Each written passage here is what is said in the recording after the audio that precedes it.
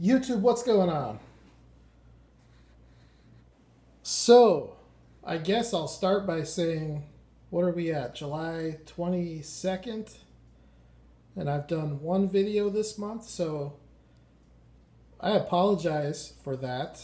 I've had a lot of stuff going on lately uh, this month, and uh, just haven't been really feeling the uh, diecast. So, um, anyways, I have the day off work, just doing some chores around the house, and thought I would break out this collection to do a quick uh, glance over.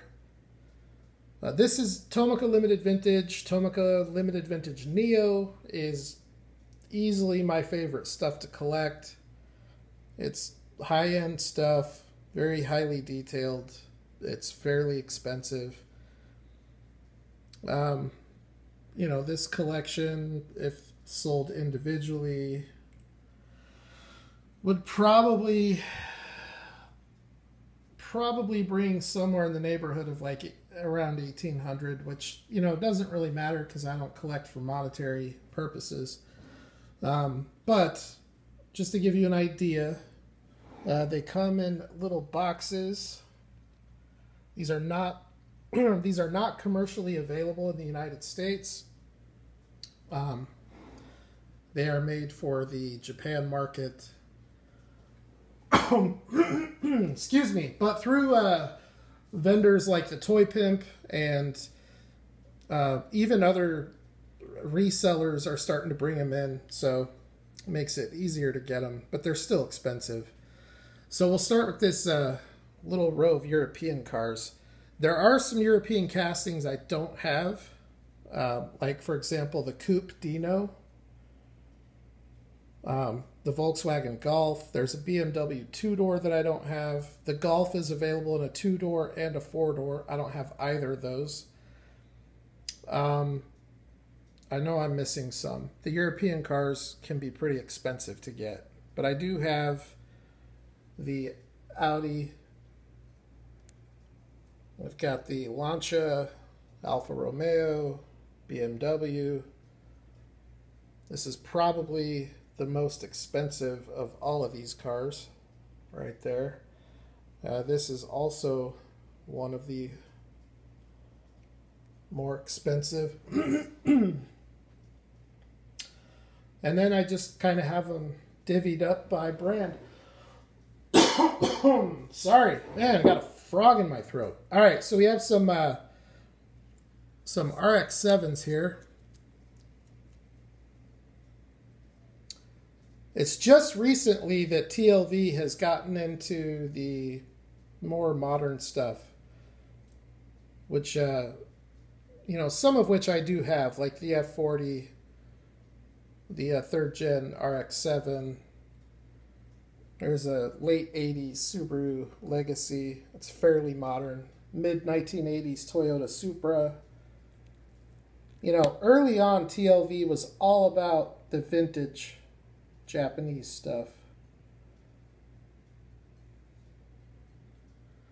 They have a great lineup for Nissans. I think their Nissan catalog is probably their best catalog. So we've got a, a Nissan Junior fire truck, Nissan Bluebird. Got a handful of Skylines in here. Starting with the R33, we've got a Japan Skyline, we've got a Hakosuka Skyline, we've got a Kenmeri Skyline, uh, Kenmeri Skyline van. If you're into the uh, GTR Skylines, then Kyosho is probably going to be a little bit better for you because they don't do GTRs. Uh, they do the R35, which isn't a Skyline, but this is the best vintage Z tooling in the scale. I think that's pretty. I mean, I, I, I think you can objectively say that this is the nicest vintage Z casting in 1 to 64. It's way nicer than the Kyosho It's way nicer than the Konami. It's way nicer than the Greenlight or the M2.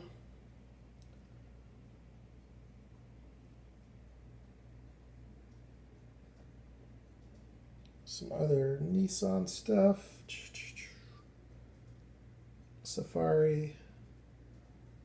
Nissan Terrano. So none of these were available in the US. Uh, well, there are a few exceptions, but for the most part, none of these were available in the US, which I think is partly why they're not all that popular to collect in the US.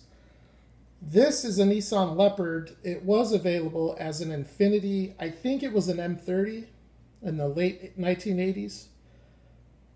Uh, also, the Nissan Prairie was available in the US as a Nissan Stanza wagon. And then the Terrano was known in the US as a Pathfinder. But outside of those three, none of these Nissans were commercially available. Uh, this one might have been, but it would have been a different configuration. You know, this one's a right hand drive. I know the 240Zs were available here, so I'm pretty sure the 260s were. But most all of this is Japanese exclusive. Same thing with the Toyotas. Um, you know, we did get the Supras, we did get some of the Corollas, um, the Celica, but most of this stuff was not available here.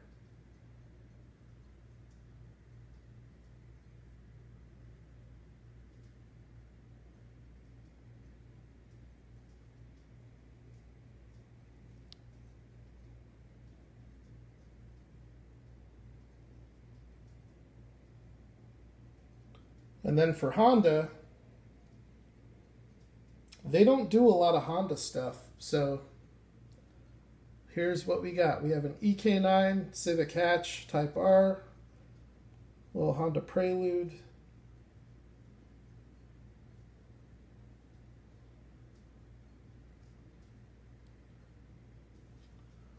And that's about it. Really nice Toyota Century. I need to count the cars because that would give me a better. All right, hang on. Radio silence here for a minute.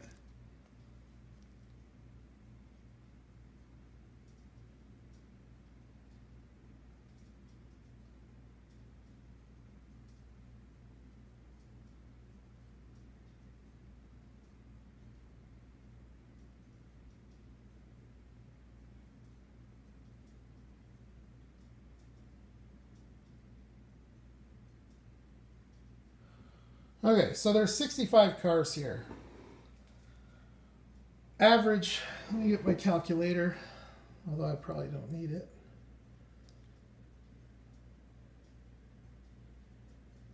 I would say average selling price 35. So 60 at 30 is 1800. So what is that? 1950 bucks. So it actually might be closer to two grand with a $30 average, which I think is more than fair considering cars like the F40 is about a $100 car, the BMW is about a $100 car, the Dino is about a $60 car, the Land Cruisers in that 60 to 70 price range, the Terranos in that 60 to 70 price range, the Safaris up there, both of these are up there. So I think a $30 average is more than reasonable.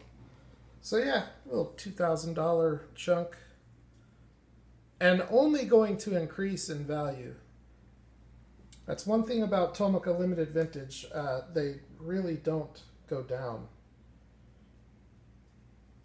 In fact, when you look at diecast as a whole, brands like Auto World, Greenlight, uh, Kyosho, really none of it goes down. It only seems to go up you know, that Smokey Yunick Chevelle from Talladega Nights is a $30 car right now, which is insane because I used to have probably a dozen of those.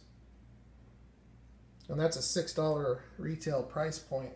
That's one big difference. This is about a $25 retail price point. But it's a great brand. If you like detail, if you like accurate replicas, this is one of the best brands to collect.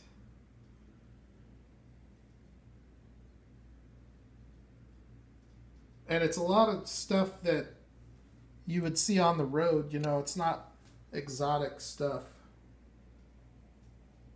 These are everyday cars for the most part.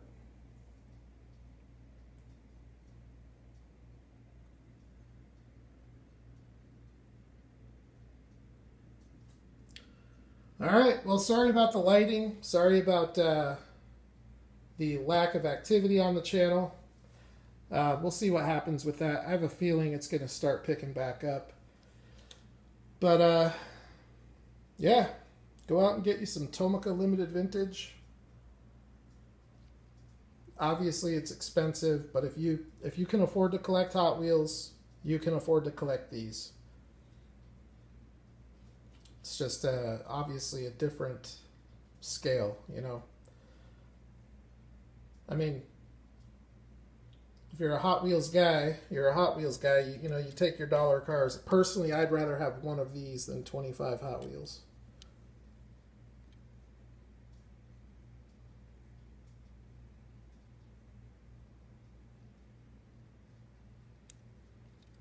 All right, well, I'm going to get these put away. Thanks for checking it out. You guys all take care. And I will holler at the next video.